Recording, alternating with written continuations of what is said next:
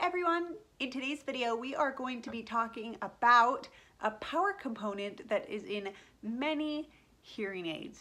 And this component in today's video is a Zinc Air battery. So why am I talking about Zinc Air batteries when I have rechargeable hearing aids? Well, over the Christmas break, my rechargeable hearing aids were not lasting long enough. What I mean by this is I was waking up at 6.30 and I was not going to bed until 10.30 or 11 p.m. In this case, my right ear, which is my greater loss, and therefore my hearing aid that has to work harder, did not last the whole day. This was frustrating, especially since I had a rechargeable hearing aid. So, for emergency preparedness purposes, it is nice to have a backup battery powered hearing aid. Now, wearing these battery powered hearing aids has reminded me of some things that I have forgot.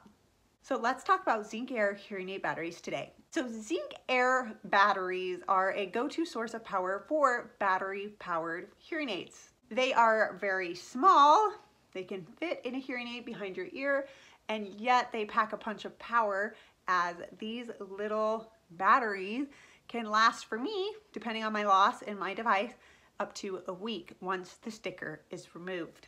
How this works is oxygen reacts with zinc in the battery to create the electricity that my hearing aids need to operate. Even though these batteries are quite small, they have a great shelf life. Typically when I get my zinc powered hearing aid batteries, they have an expiration date that's at least two to three years out. Keep in mind these are batteries with the tab or sticker still on. Once that tab or sticker is removed, I have noticed that my zinc air batteries size 13 last seven days from the time I remove that sticker.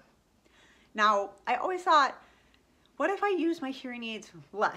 For example, I could use my rechargeable hearing aids for three days, my Zinc Air for three days, and that doesn't matter because the Zinc Air battery, once that sticker is removed, it is now receiving air into the battery using the zinc. So whether or not the electricity from that reaction is being used, the reality is the zinc is being activated and therefore that battery will still die within seven days regardless of how much I'm using it with my hearing aid.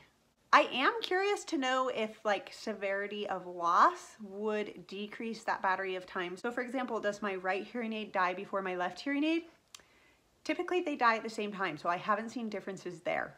If you use zinc air batteries, I want to know in the comments below how long do they last from the time that you remove the sticker and what type of hearing loss and device do you have?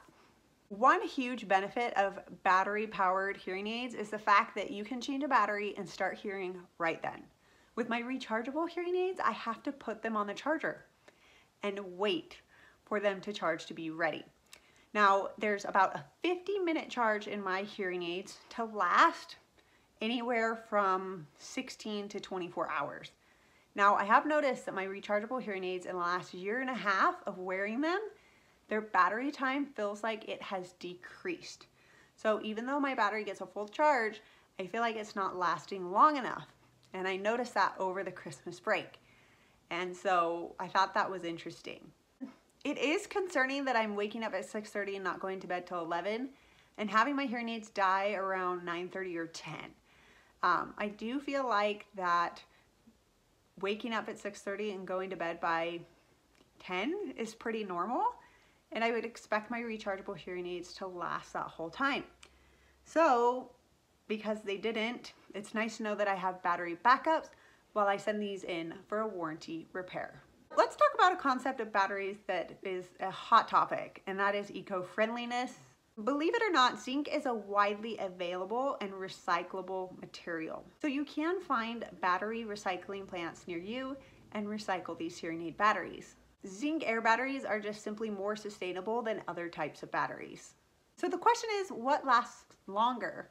A rechargeable hearing aid battery or a zinc air battery? Well, the rechargeable batteries can last anywhere from three to five years. Now, that statistic last, it makes me wonder what that live playtime is because as I'm already seeing a decrease from a typical 24 hour wear to now only about 16 to 20 hours a day in my worst ear, that's a little concerning to know that my rechargeable battery is deteriorating at that rate. Now, zinc air batteries, they work for the full seven days, but then once they're done, you essentially have this little empty capsule that needs to be recycled. As far as a user experience aspect, I really like zinc air batteries more than I like rechargeable. And why is this? This is because I can simply pop in a battery when I need one and I'm on my way. With rechargeable hearing aids, I have to remember to charge them, hope they sit on the charger right, and I'm at the mercy of the recharge time when they die. So I'm a little concerned that a lot of the hearing aids are becoming rechargeable.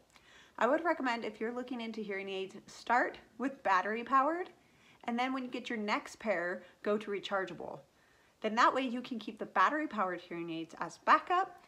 And so if you ever have problems, you hopefully have some sort of hearing aid with some sort of power source that you can use. All in all, I think that zinc air batteries are underrated with how small they are, how efficient they are, and how much service they can deliver to a hard of hearing person when they power their hearing aids. If you got something out of this video, please don't forget to hit this like button and subscribe to my channel.